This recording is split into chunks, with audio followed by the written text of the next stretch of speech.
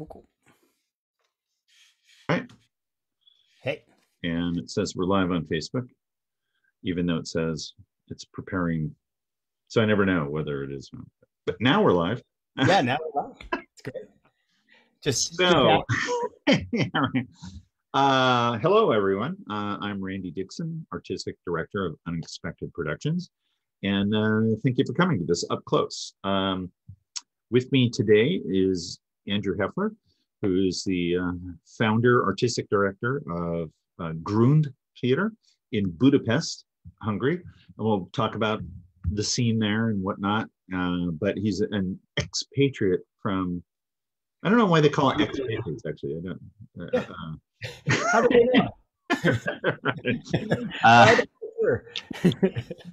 maybe we can talk about that. But um, anyway, so he's here. But before I talk to Andrew, uh, I want to talk to you guys who are watching and um, let you know we have four live shows that we're doing right now. We're hoping to expand. And next week, Washington State, where we're located in Seattle, um, is opening up. So we're going to try to get as many shows as we can up and running, get back to normal as much as we can.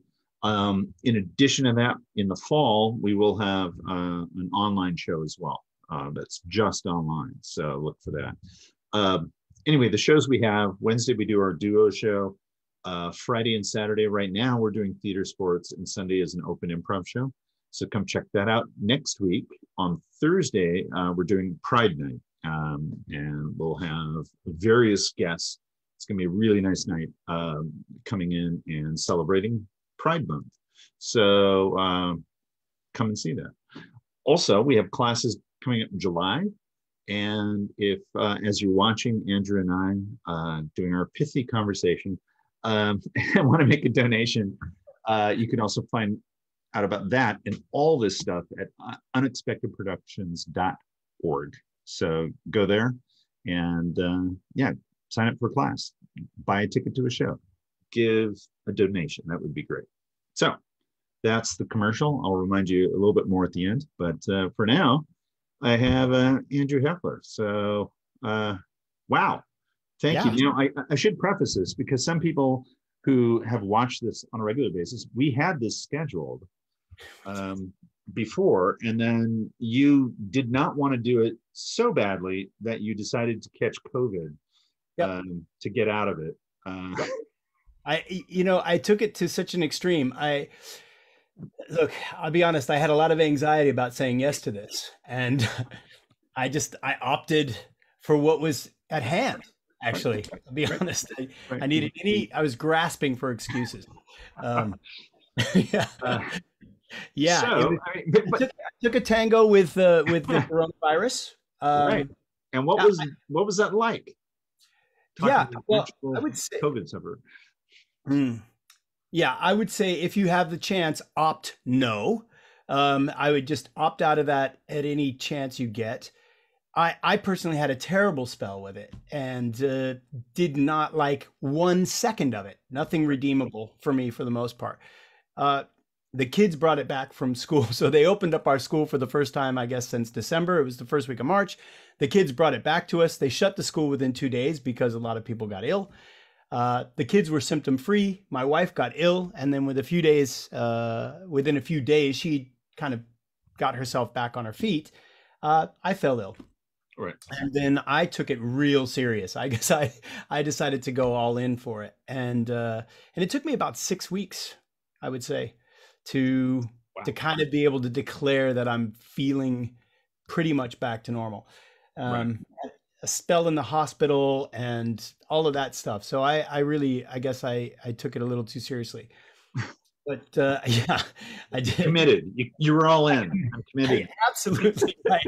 I hope I hope that I can commit to scenes like I did this.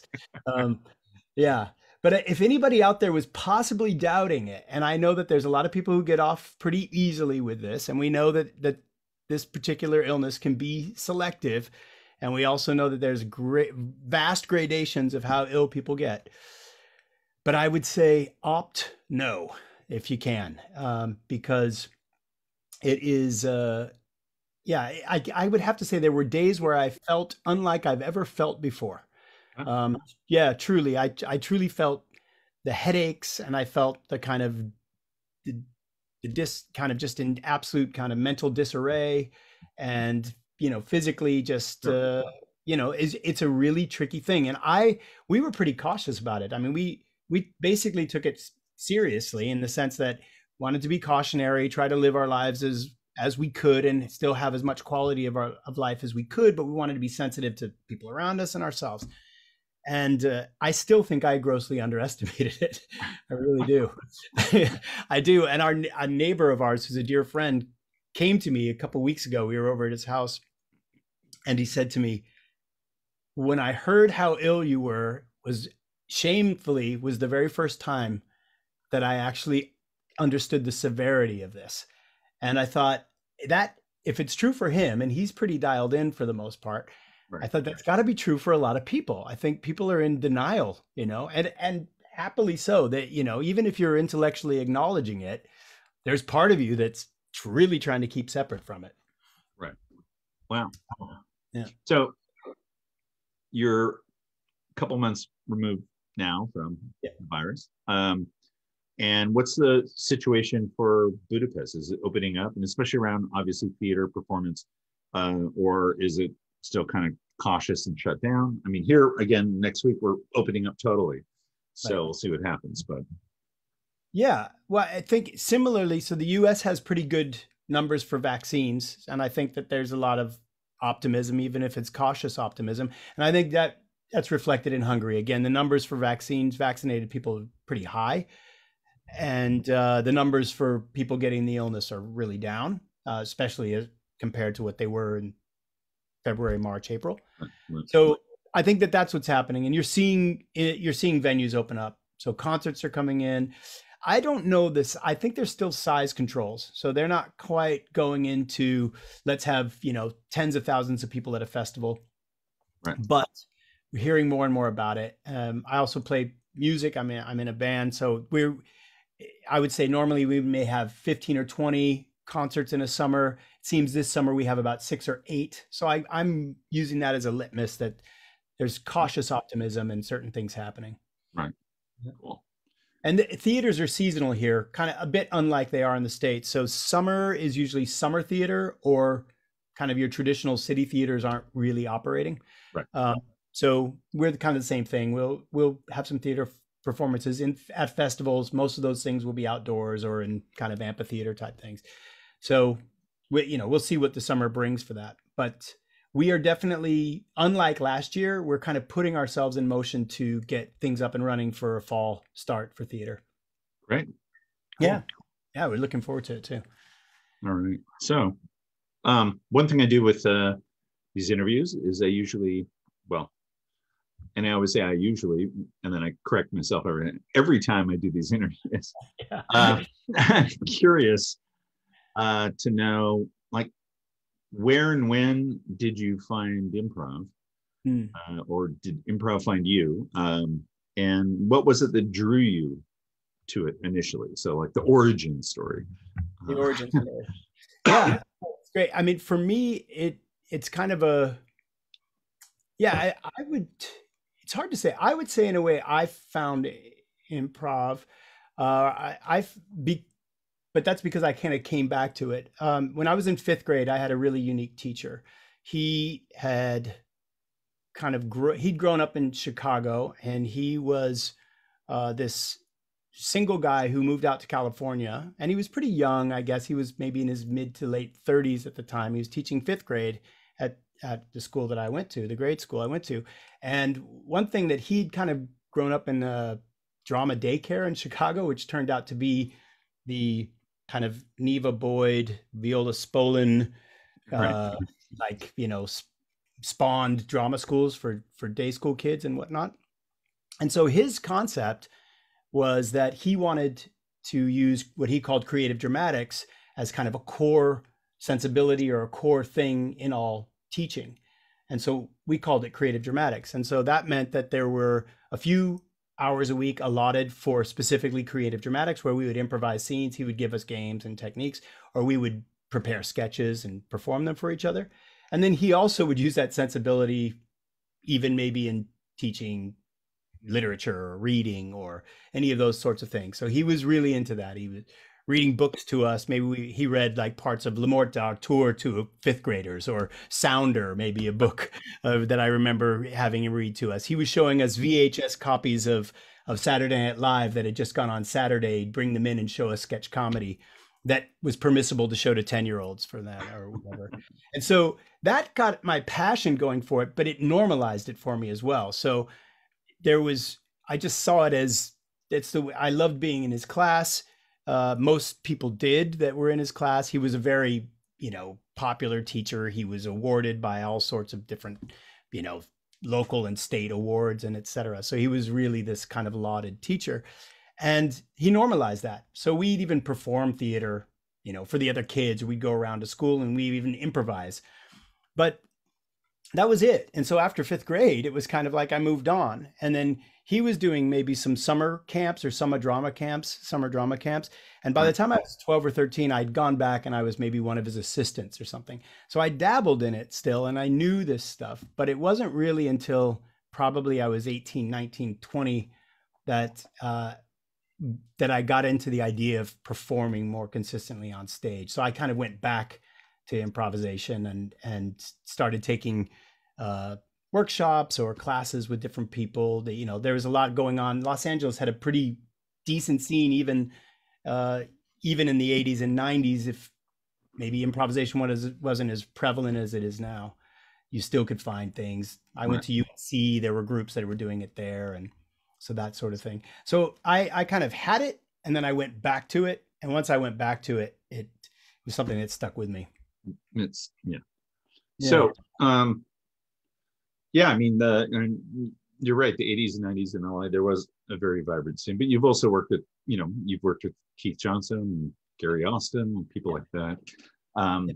So uh, what pushed you to say work with those guys or to go deeper and deeper and deeper. So you, you had it, you refound it, and then yeah. a lot of people would dabble, but it seemed like you went deep. Um, and so I'm just wondering what, what the call was, I guess. Well, I, yeah, it, it was a, it probably stemmed from a conversation I had with a really uh, old dear friend of mine that I was performing. So I perform music. I'm a singer, and I was playing in a band with this gentleman, uh, another American living here in Europe, and I had I was working at a, at an international theater in Budapest, and I'd been doing I'd been playing in some of the summer shows there and some of the plays, so traditional theater, um, meaning rehearsed theater and and that sort of thing. And one of the people there asked me if there was a group of actors who were going to go to India for the summer and tour a couple of shows, and they were worried about their language skills and they were worried about a few things, and so the the director of the show asked me if I'd run a workshop for them, and I thought, oh God, I mean, I don't think I've ever really done that. This is probably 1995, 96, but I had an idea of, of some exercises, something, some things to do, and I did it. And I just felt clunky about it, but I felt like I had some idea, and it was a lot, awful lot of fun to do, but I didn't feel 100% confident doing it.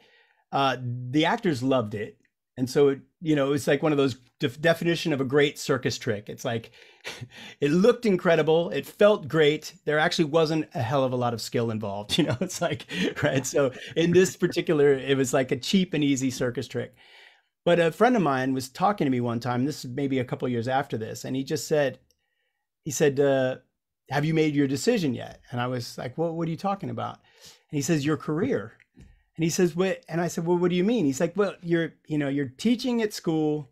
I was teaching drama at a grade school, and you're, you're teaching that, you're doing that, but you're, you're a performing artist. Are you going to be a performing artist?" And uh, and I, had, I don't think I'd ever really thought of that question that way. Right. And right. so I just started thinking back to all these things, and I said, yeah, I guess you know, I guess I am going to be a performing artist, um, and and I was fortunate. I was fortunate to have a wife who kind of went all in on that with me because she was like, "Yeah, look, that's it." To me, it's kind of obvious, and I, whether that is or isn't the case, and whether that is or isn't exactly what happened, I think that's what made me make the deep dive. So that's probably when I was already working in theater, improvising with the trio, um, I just wanted to have more understanding and more knowledge. I wanted to. I was running workshops, but I wanted to know more about it. I wanted to do it with with greater kind of understanding and, and command. So I I went back, and that's when I started going spending time with Keith because Keith was coming to Europe frequently, and so I, I started spending time with Keith and the trio that I was in, Scalabouche, with my dear friend Ben O'Brien, who you've met and and played yeah. with as well, lovely guy and a dear dear friend, great improviser, and Alexis Latham, another you know great improviser and actor. The three of us worked on stuff and we tried to innovate shows and and I I just wanted more vocabulary for that. And the more hungry I got for that, and the more desire I had for that, um, I think it just led me further and further down, you know that that road. Um, Right. And yeah, and it just became a necessity too, right? Because it's like right. they're just you know workshops needed to happen and people wanted to do stuff and i i wanted to be better and better at it i wanted to be able to transform and right. and and know how to do it with you know with with greater understanding so i think that's as yeah for whatever it's worth that's that's what it was right well i have a gigantic question but i'm not sure yeah and then I'll leave and you can just talk for the rest. but, sorry.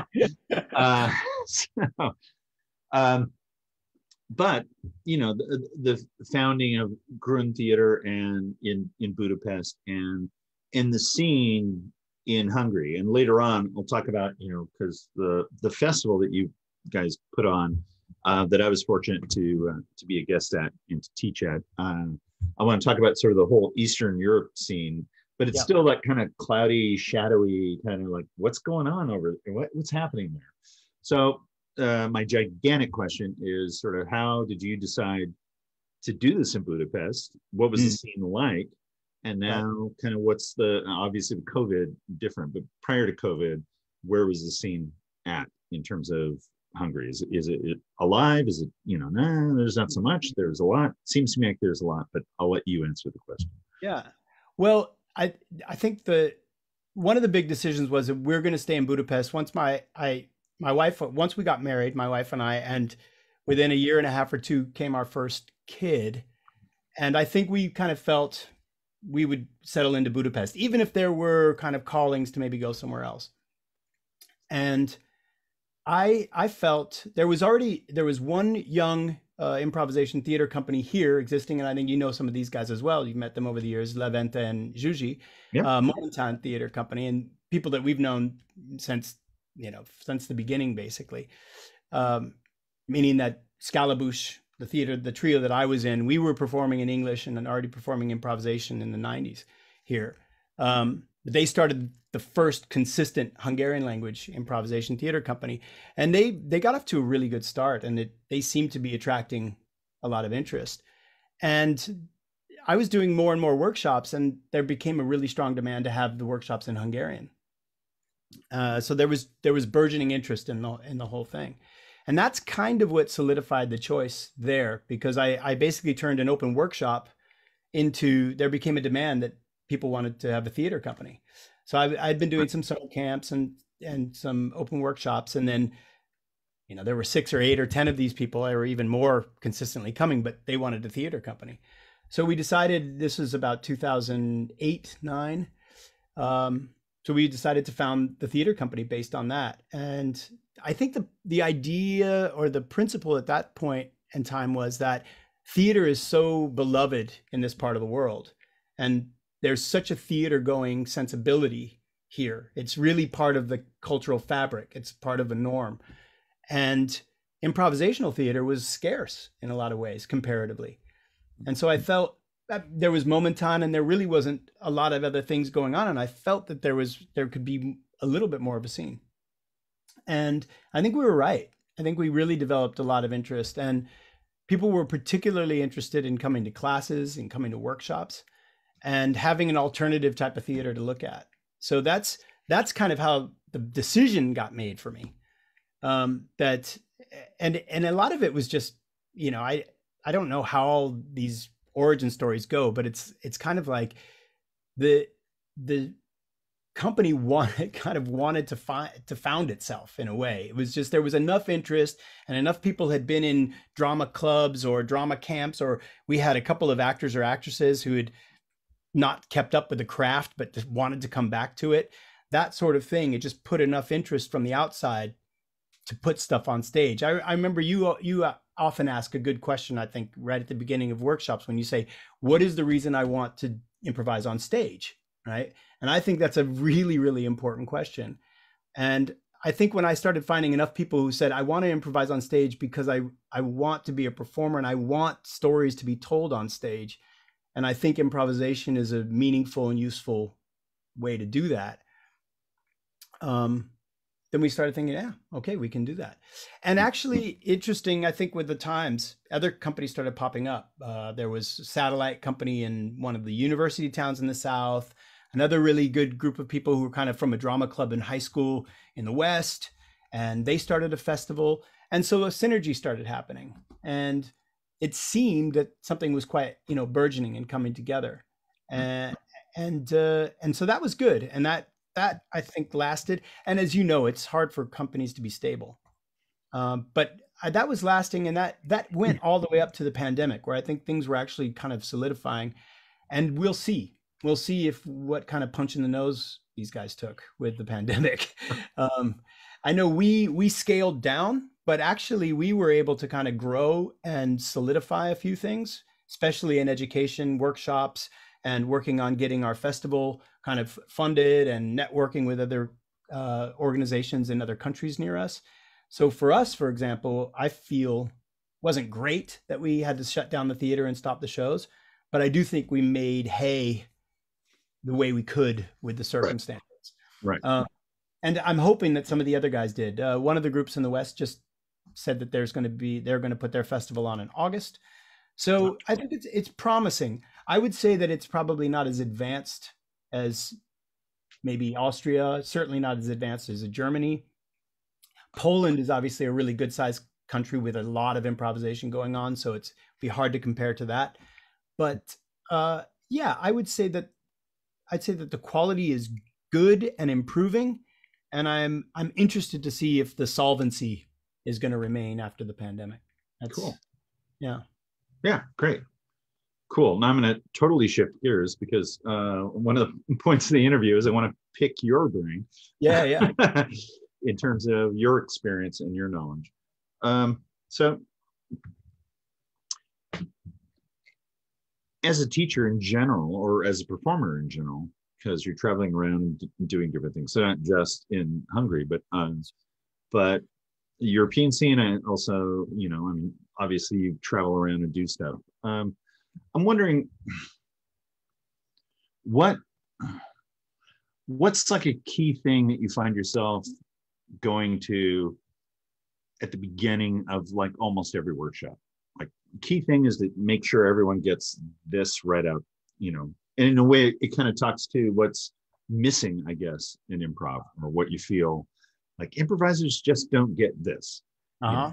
You know? Like I was struck when you were talking about um, theater um, in Europe, because I think that's one thing, and I could be totally wrong, but in my experience, in North America, we don't necessarily think about theater. We think about films and TV and you know that stuff but I do get a sense of that when I'm traveling in Europe for sure. Like, wow, this is a theater audience. Mm. Um, so, but, but anyway, in your own experience and in your own classes, what's like that one thing where you kind of go, got to make sure they get this right away? Mm.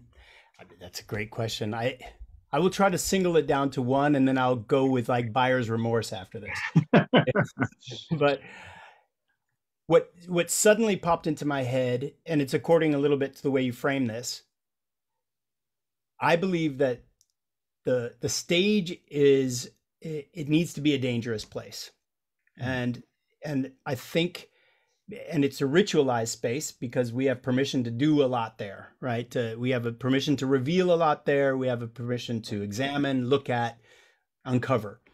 And I think a lot of times when that's trivialized, or if that is, you know, folly, or just left to folly, I think that we we all might leave there feeling okay but i think we've left there not really using or utilizing what it's for and i think so then i translate this so i would say that i really want people to come off and say i think this is it's such a safe space that you've really got to take huge risks here and then i think it should translate to the individual performer as you've really got to be willing to get this wrong.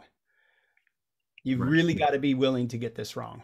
Um, and you've got to take chances. Um, and that's going to leave you vulnerable and that's going to leave you at times, you know, not necessarily aware of exactly how or why you feel the way you do. But um, so I get I that that came to me when you asked that. Right. Because I, I really like people to to leave with that kind of permission that that's the case. Right.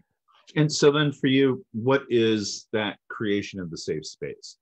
So Mhm. how how do you go about creating a safe space with students or actors if you're directing um, where they feel like, oh, I can I can take a chance here? Because again, uh, going to Keith Johnstone, that notion that we treat the stage like we treat life. People Yeah. don't want to fail. They they want to do it right. They you know, and it's like it's not about doing it right because it doesn't matter. We're on stage, right? Yeah. So how, how do you go about creating that safe space? Yeah, I well, I think what one so the corny answer is you're sizing up how people are listening to what's happening. So a lot of people listen with their eyes, listen visually, a lot of people listen with their ears, a lot of people listen physically. And so you kind of I I just try to watch and see how the group is reacting to itself. So a lot of times I will I'll try to create a safe space a lot of times by having nonverbal work for the first 30 or 40 minutes. Wow. Uh, Great. you know, just not just to just to say we don't need to do anything verbally committed here. Right. Let's let's just dial into how's this breaking down physically. There's so much communication going on physically. Just getting us accustomed to that and not having anybody on the clock, not having anybody up, you know, Right. um, and then easing into that. I, I, for me, I find that that's good. One, there does two things for me. One, it means we don't have to listen to a lot of verbal jibber jabber that is nervous frustration. So that's my kind of selfish side, and then and my and I think the the really good kind of instructive side is it permisses people to understand. Oh my God, there's this massive vocabulary of other things going on here that is so is so much more easy to operate or you know engrossing to operate. And i and i i think the other thing is is i don't i try to create an immediate culture of feedback so that i make feedback an absolute norm.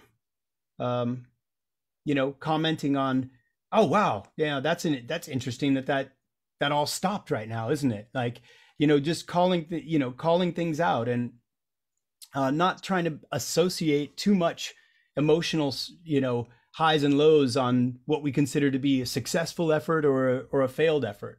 Right. uh, and just trying to ensure that it's normal to talk about how things worked or didn't work. It's normal to talk about how they affected us and um, and then encouraging people to to kind of feel confident to do the same Right. I, yeah I guess, I guess that's that's how that's how I look I look at that um, I know now it's very popular and very common for instructors to say, uh, we've got to really create a safe space and let's open up a dialogue right away and let's start opening up the specific channels of what is important and what is sensitive and what is meaningful to everybody, which again, I, I totally get that. And I understand the, the merit of that. And I understand the comfort of that and, and the respect in that. I, it's odd. I personally never feel that I've had to be ever be that didactic about that. And that's not to say that I don't now, but it's just say it's I've I've always felt that uh, I've always felt that the the kind of the spirit with which things can be run can certainly imply and generate that space. Right. Uh, Right. um, well, it, it sounds like you're doing it through practice. So, like by establishing the way the relationships and the practices in the room, you don't have to then stop and go, here are the, the 10 bullet point rules that we have to follow, you know. Right. Um, and Right. uh, so leading by example, I guess, is is yeah.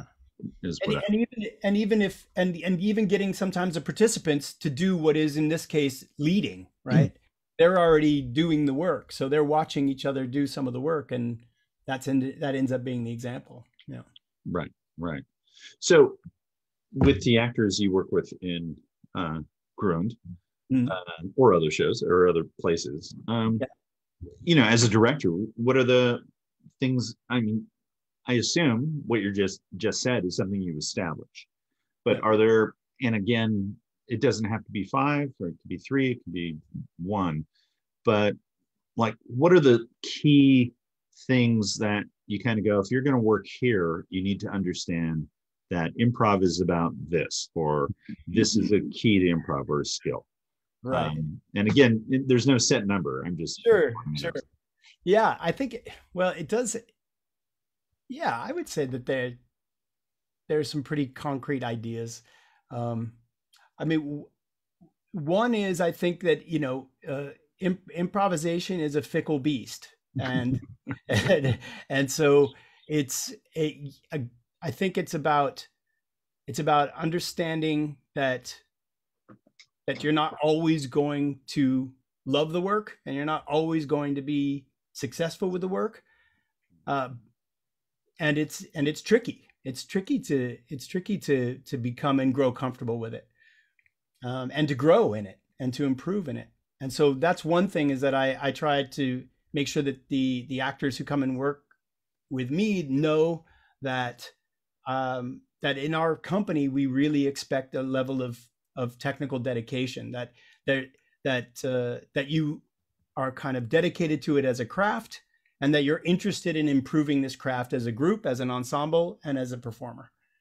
And and that we can we can revisit this topic and talk about how that's working or how that's not working so that's kind of one of the principles that that we'll bring somebody in with. And i don't actually mind how somebody defines that. So for me i'm not into necessarily defining what that is for someone but i am interested in an actor defining what that is.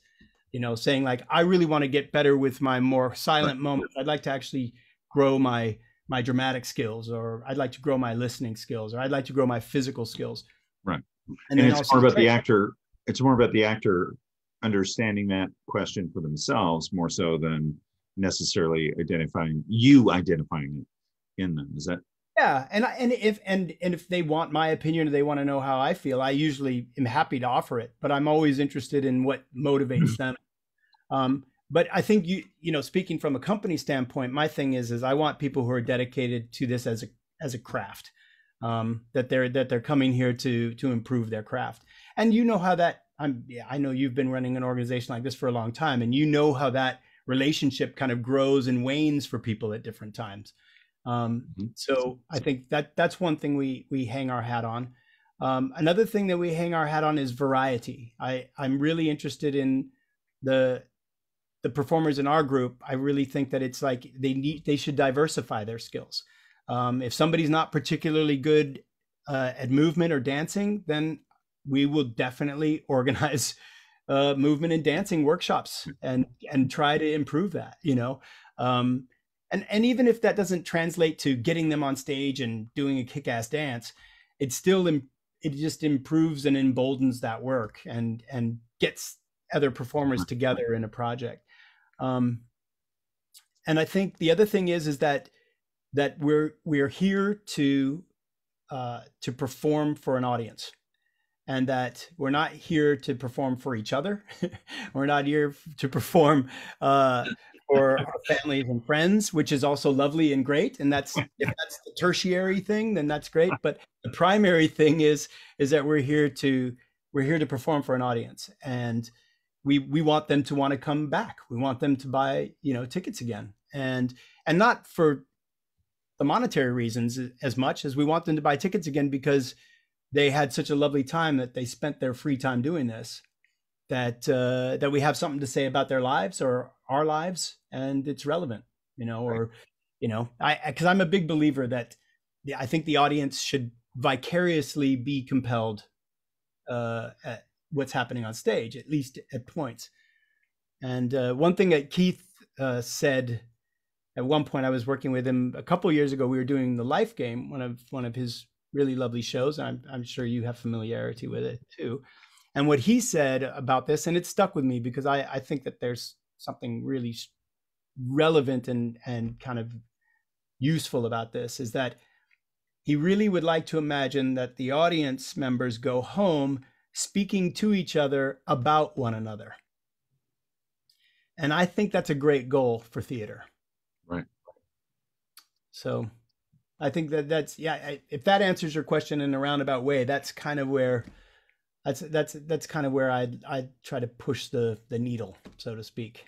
right? Right. And do you? I mean, do you get a sense of that response from your audience? Because I, I, know in, in, our audience, I mean, we talk to people after the show, mm. and it's great. But you know what they talk about on the way home, or um, what you know the next morning. Um, I'm sort of just going off my own experience of having seen shows. I go, well, the next morning, here's how I felt. So I assume our audience feels that way. Do you get right. any direct input from your audience that shows that that's been fulfilled? Yeah. So the good news is is that we've definitely got some very good feedback at times, and the the trickier side of the news is it really depends on the show. And I don't even necessarily mean well, not, but I don't even just mean the performance that night's performance. I mean the actual type of show. So, for example, we'll perform Maestro, and Maestro is popular. It's fairly easy to sell tickets to, and uh, and people like it. We've been playing it a while. And there are some nights where I think that Maestro has such a nice variety to it uh, that it might accomplish just that. And you can tell because the audience sticks around after the show and they're chattier and they're more curious about the players and that's livelier. And there were a couple of scenes that that did that or several even. There are nights when that's not the case. And and there are some of our shows that I think end up being falling into the category more of folly.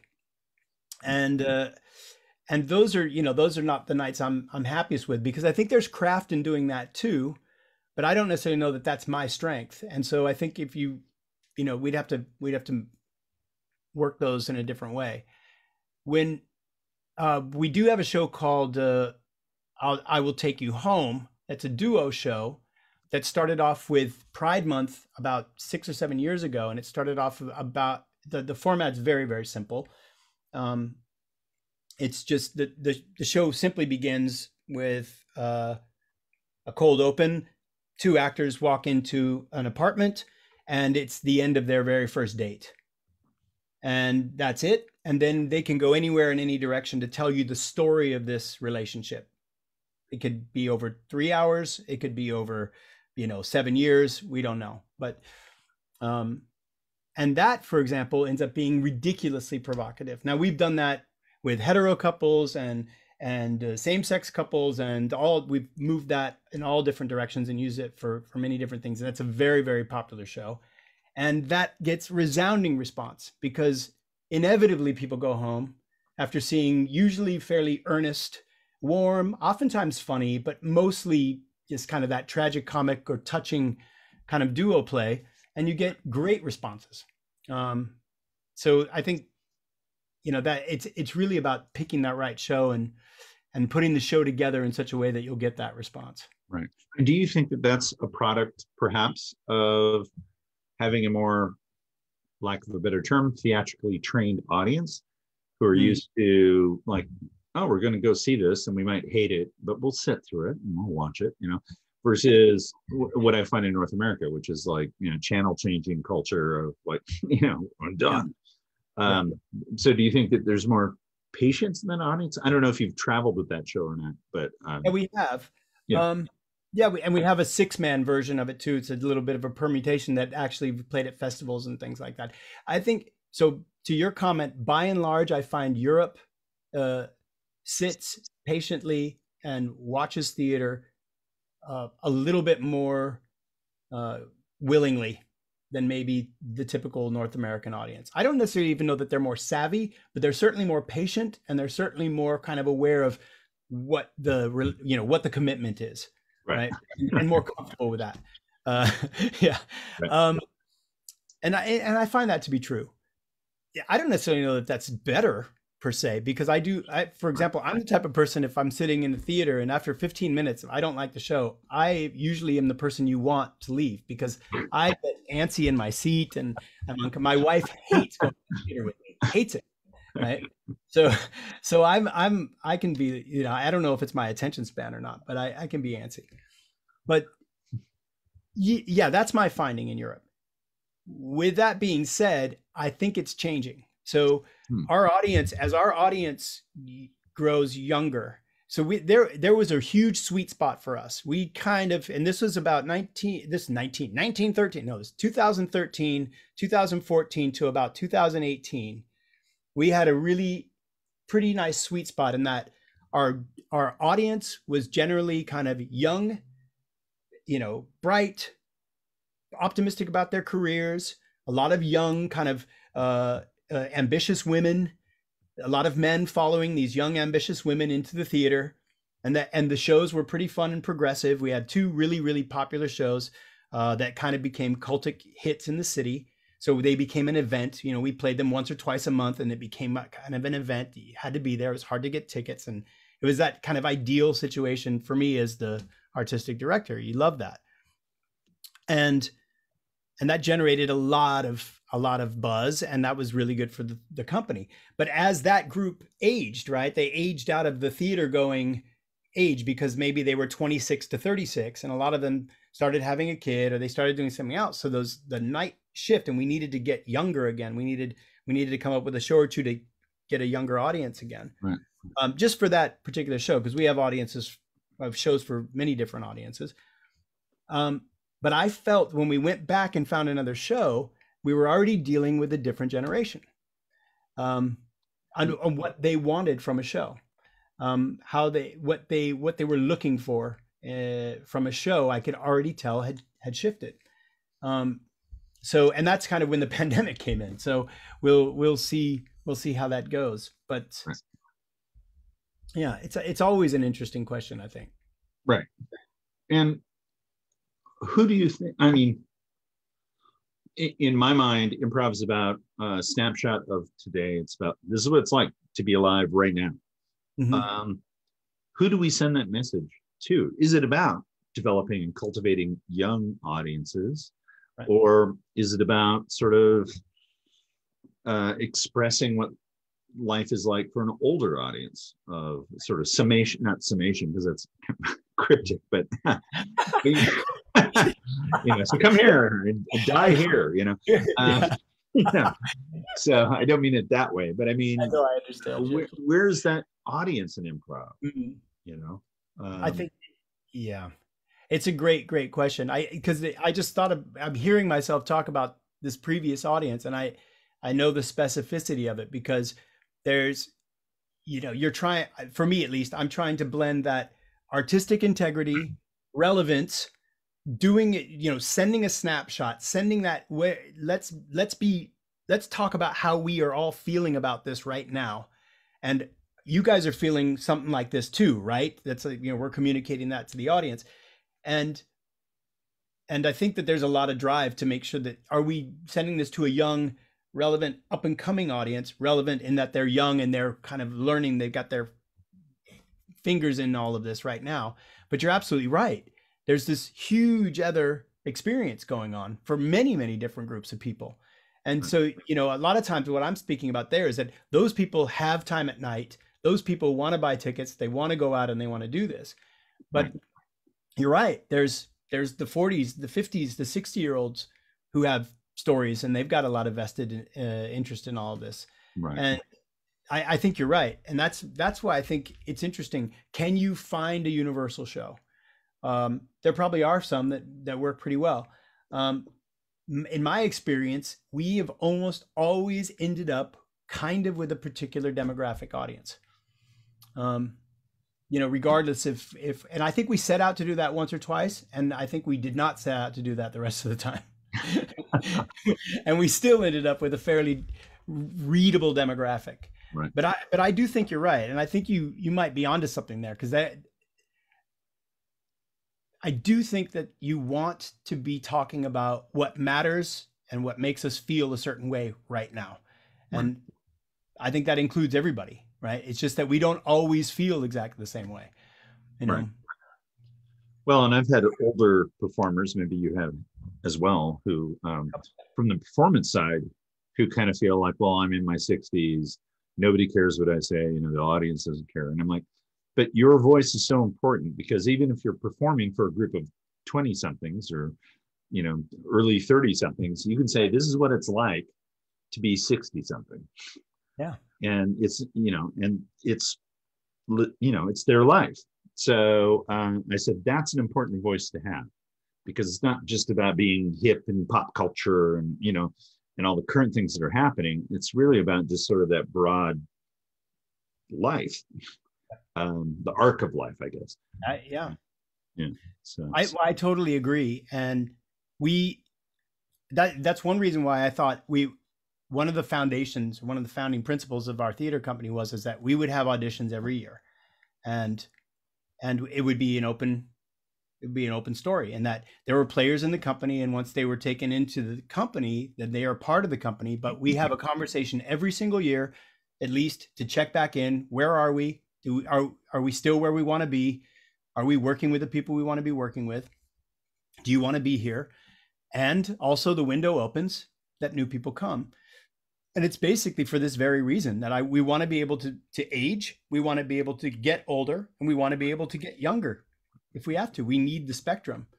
And I find it very, very true. We have we have an, one one of the older actors in our company. He's been in our company from the beginning, and he's he's he's sixty, and he has it. He found an incredibly vital voice. Uh, there one or one of the shows that we had, he be, became an absolute like beloved performer in the show, and it was for. And I really do believe it's for this very reason you're speaking about is that he was transcending something about experience to, in this particular case, a bit of a younger audience, and uh, and he had you know he had a very good skill at kind of tapping into that. Right. And so I think I think you're absolutely right about that. And I think it's you know I'm a big believer in variety for theater, especially for improvisation, because like we get trapped, we get trapped in these re- repetitive vortexes, and uh, it's nice when we spread that out. Yeah, no, I totally agree. In fact, that's why I say all the time about variety. Because people are like, "Oh, Randy, you don't like this Sherpa game," and blah blah blah. And I'm like, well, you know, an evening of stupid games is a waste of time a couple of stupid games with other stuff is great. yeah. Yeah. and that's what I strive for. Yeah. I love it. I think that should be like I don't can that be like the alternative title? An evening a couple stupid games. Uh, games and other more relevant content.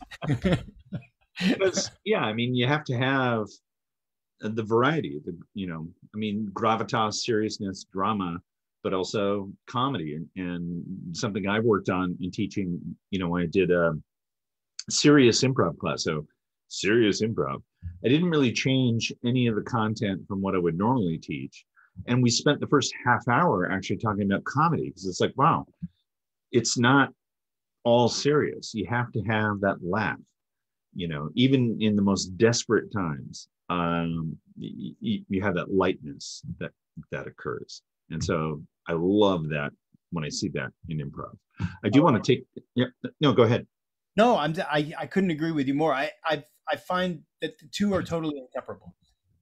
Right. Uh, for me at least, even as a viewer, especially. Right, right. Um you are a, a musician uh, so I also want to talk about the crossover between those two crafts um, mm. in terms of for you, um, sort of where the intersections are between improv and music. Mm. Um, you know, and uh, I mean, music at its most base level, I guess, is math. But yeah. but where does improv creep into that, and how do you utilize improvisation in your in writing songs, singing, playing music? Yeah. Yeah, well, yeah, fortunately, quite a bit. Uh, I think I often say this, and I, I I'm willing for this to be wrong, but I, I do kind of feel this way. I think music is the perfect performed art, mm-hmm. and that and and it because if if you want to get away from it, you have to leave the space, right? You can't like if I don't want to see people performing on stage, I don't. I just turn my head right? right? but music it's it's insidious it's going in your ears no matter what right. and the other thing about music i think is um, it's so emotional and it's so immediately emotional and it's very undescribable i think that a lot of times that emotion that it generates. So it, it ends up being a very powerful medium. And for that very reason too that when music sounds poorly or it is let's say played dare i say played poorly it's it can be very very frustrating right? And so i think it to improvise in music there's a requirement of certain physical acumen that kind of has to be basic. Um, and that's not untrue of improvisation on stage. That, that's not what I'm saying. But I do think that improv on, improvisation on stage is much more forgiving. There's a lot more. There's a there's a lot more time to let things to develop, right? Because mm-hmm. repetitive dissonance is is in music could be very very frustrating, but in on stage it could actually end up taking on a whole different type of meaning. Um, and I think uh, with that being said, I think that performing with a group of people and improvising or, or improvising parts of what you're doing, it's done very similarly or almost exactly the same it is as it is on stage with other actors. And that's just through generosity and listening and just being extremely attentive uh, to the others. And then kind of having that group sympathy working in that just having a basic or general understanding of are we making enough space for everyone here? And am I hearing everyone? And am I witnessing and experiencing everything? And do I know when I would it be helpful for me to be decisive? Would it be helpful for me to be flexible at this moment?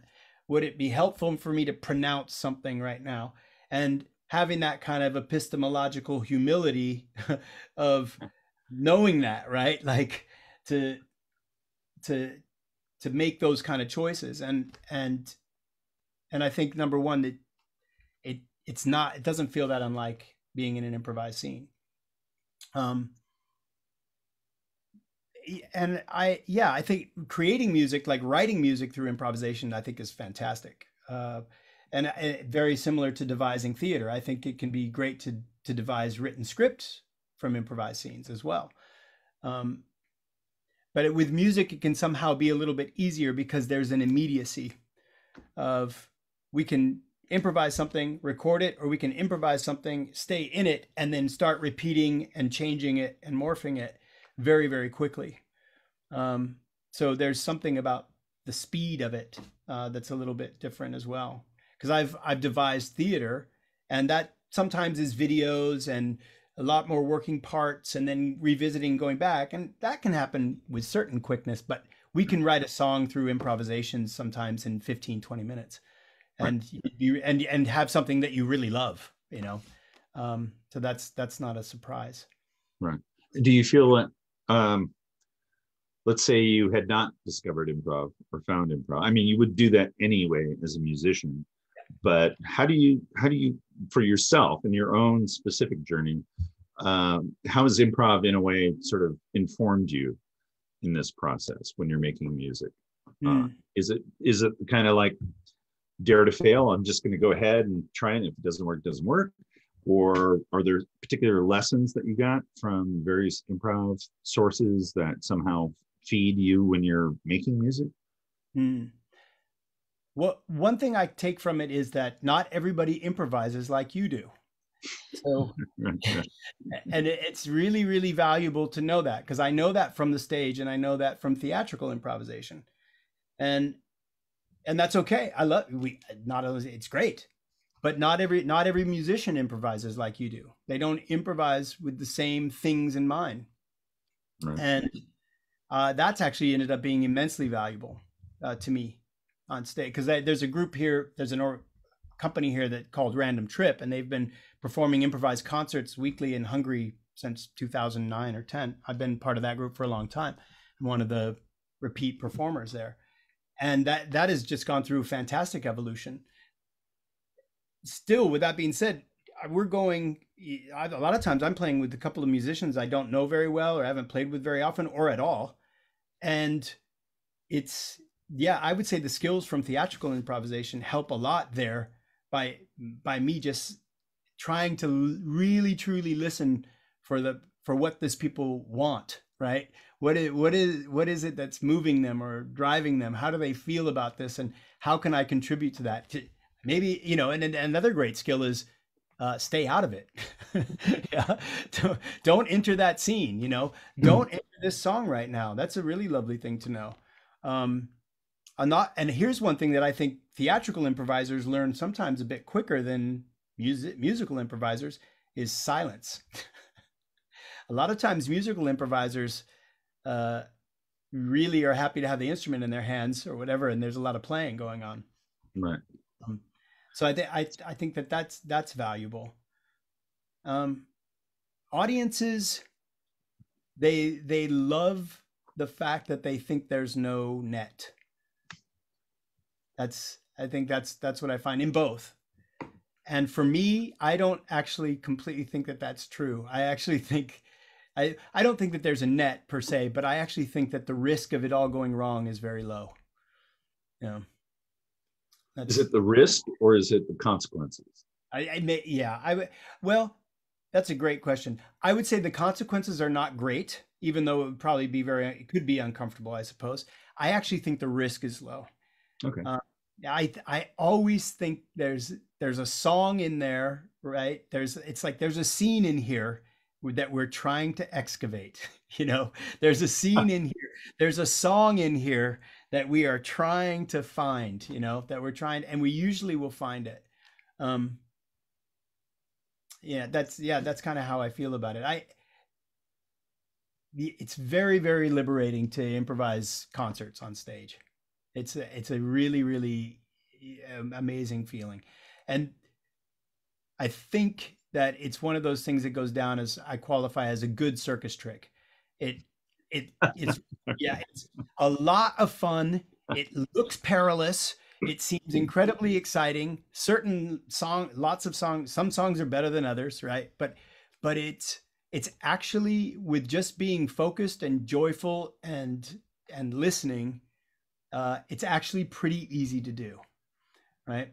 That's that's you know that's that's kind of how I sum it up. Right, right, right. And um, it's a uh, when things go wrong. Mm. Yeah, they do.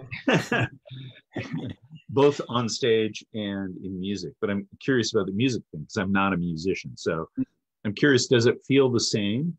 Or are they two kind of different beasts that you kind of have to ride out uh, mm. whatever's not working?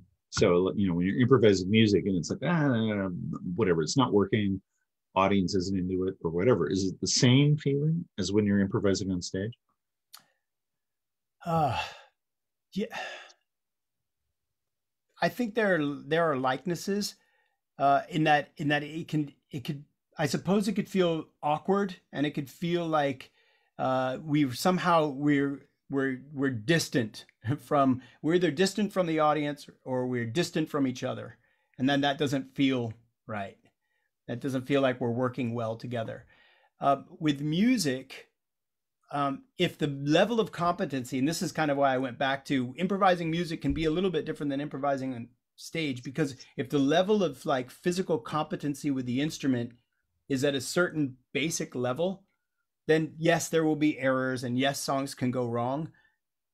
But the, the work kind of can always sound somehow coherent, right? It just might not be honest or true or exciting or wonderful or whatever, but it can kind of be coherent. And then it, I guess it feels, music can get very territorial that's that's one thing I that I would say, and a lot of times that to me is when it feels the most uncomfortable.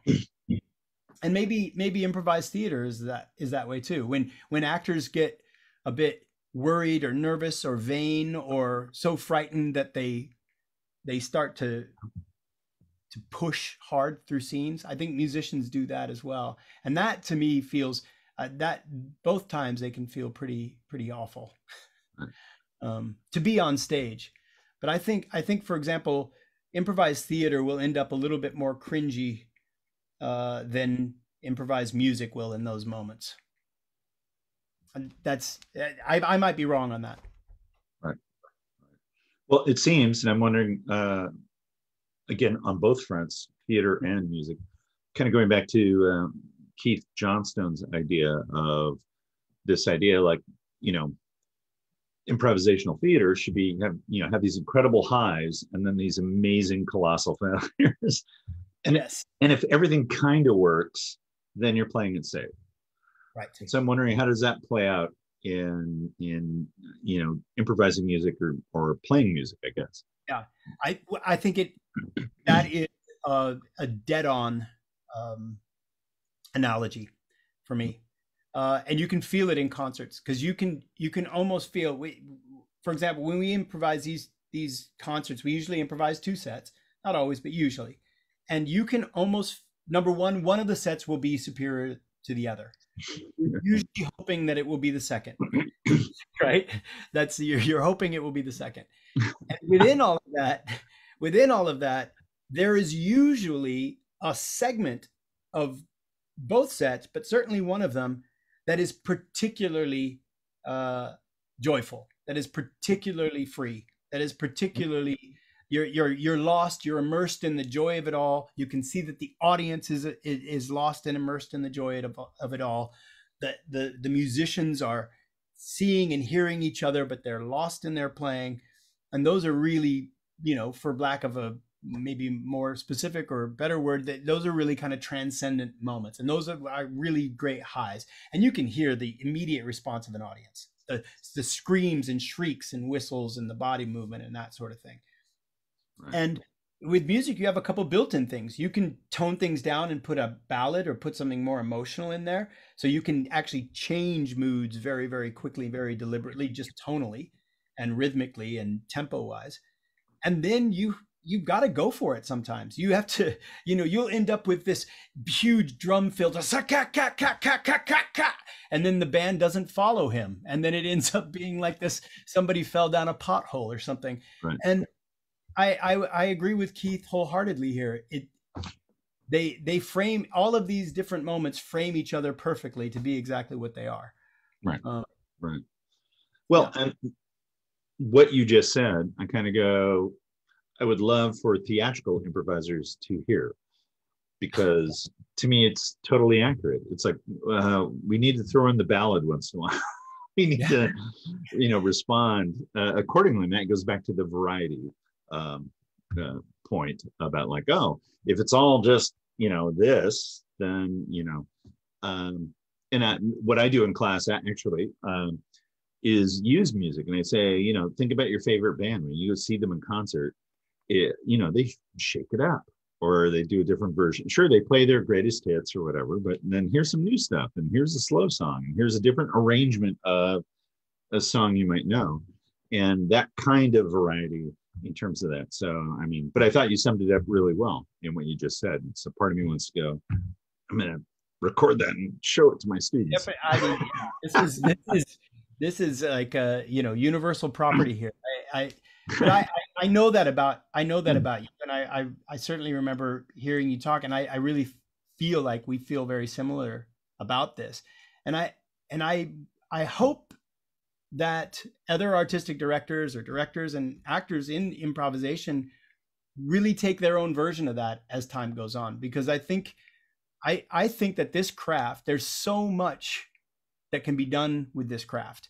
And there's and i really think there's a this is probably corny to say or been said too often but there's so much untapped potential in improvisation. And i i know mm-hmm. that you felt that way for for many years. And it's and i just think that it this is the key.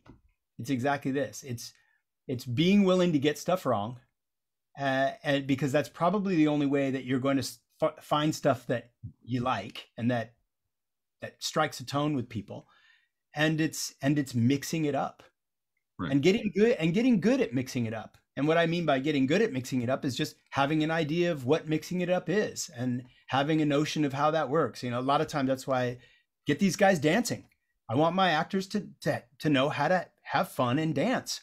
I want my actors to, to know how to change the tonality on stage, you know, tonally, physically, verbally. If we just had a bunch of love scenes, let's get out of the theme of love you know let's let's get it to, to you know let's get into the theme of you know whatever insurance. I don't know but like you know it's like something else. Really? Insurance is the opposite of love and you're just looking at something i need to sign okay i'm beginning to understand more. Trying to follow me? Right.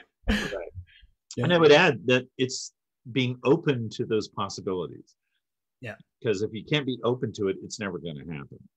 So, you know, going back to what we were talking about uh, in terms of, um, I I think it was in music you were talking about, but also about on stage improvisers.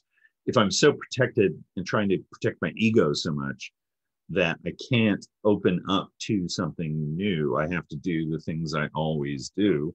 Then it's it's never going to happen. It's you know because it's not. I don't even see the tool, you know, let alone know how to use it. Um, I feel. Um, so to me, it's about trying to find that way to open stuff up and for people to feel safe going way back in our conversation um, creating that that level of safety where people feel like it's okay to take that chance and right. if it works or doesn't work okay well and it's like it's it's our i guess maybe if i can rethink maybe one way to to answer that question when you posed it like it's it's to it's for the actors to know that actually that's the definition of their work right? It's a, it's the definition of your work is not necessarily come here and do the stuff that you're best at doing. Right. The definition of your work is actually come here and try to find uh, different ways to get voices and get feelings and get moments out on stage right. um, and and we've got to be willing to to stretch our capacity for that. Yeah,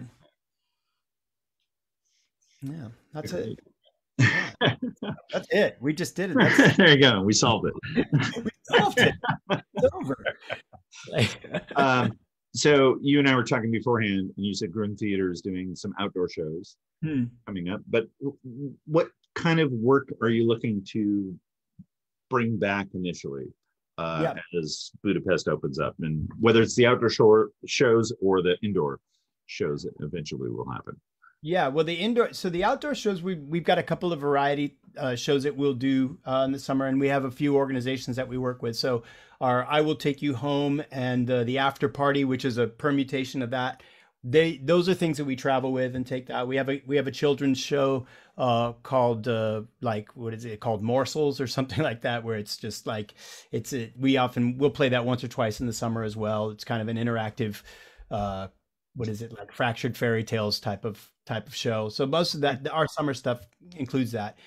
What we'll have back on stage from the fall is uh, we will have uh, food film fighters which is which is one of our really we it hasn't been on stage for the last two and a half years. We we are in a we're going to bring it back with a with a new cast, and it's basically there is a film that we're thinking of that we haven't told the audience what it is, and they are going to uh, they're going to be treated to different guests who will speak about their variety of expertise. So, in other words, a makeup artist might give a talk, um, a writer might write a piece uh, uh, or a critique about it.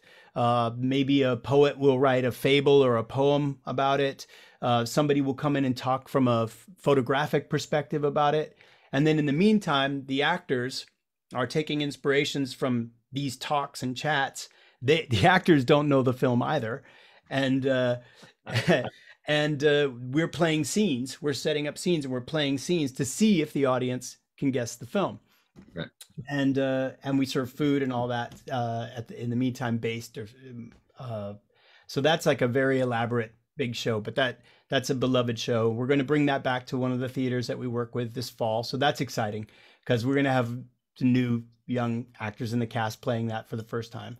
Uh, and then uh, we'll we'll have Maestro and we'll have our other two standard shows coming up. And then I'm looking to get something new on stage uh, this this year, and uh, and we thumbing through a few ideas, but um, I was thinking of trying to get something a little bit interactive with some video cameras, uh, monitor, and maybe a couple of different varieties of of space to where we can do something. And the, the preliminary title is an evening with terrible people.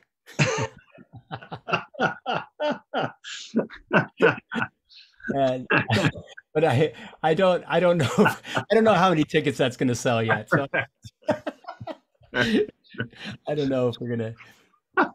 Basically, they, they had a play called Ivan the Terrible. I thought we could ah. get away with it. Right. Well, most people buy the tickets will be like, I guess I'm a terrible person because I'm. Yeah, exactly. yeah, exactly. You're exactly. Everybody's incriminated. cool. Oh, we've gone a bit over, so I Oh. appreciate your time. Um, and uh, yeah, I love talking to you. We should do this more often. Um, Absolutely. but um, uh, I'd like to thank Andrew for being here. And again, if you're ever in Budapest, uh, check out uh, the theater, Grund Theater, and um, look for that. Uh, and also their uh, festival, which may be happening some point.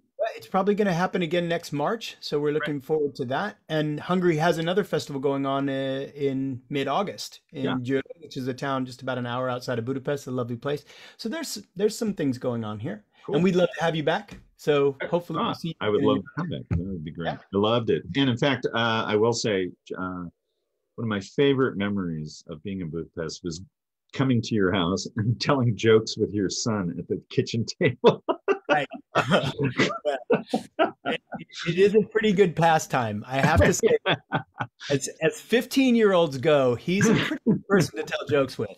Uh, yeah, it was. I loved it. It was great. Um, so you can do that um, if you. yeah, you're Just welcome to do uh, that. Andrew a call. Uh, anyway, and then again, if you um, want to see a live show at the Market Theater, come on down. We do shows uh, four times a week. Again, we're going to be expanding. But right now, it's Wednesday, Thursday, Friday, and uh, Saturday. Uh, no, I'm sorry, Wednesday, Friday, Saturday, Sunday uh, are all of our live shows. Uh, and then uh, we're not doing an online show right now, but we will be in September. So look for that. And um, we have classes.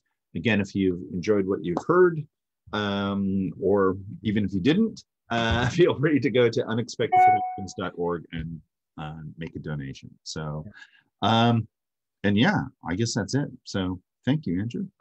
Yeah, thank you so much, Randy. I had a great, great time. And everybody, Unexpected Productions is an outstanding organization and one of the flagship ones in the world for this craft. So if you're in the Seattle area, check it out because you guys have an absolute gem Oh. in your neighborhood.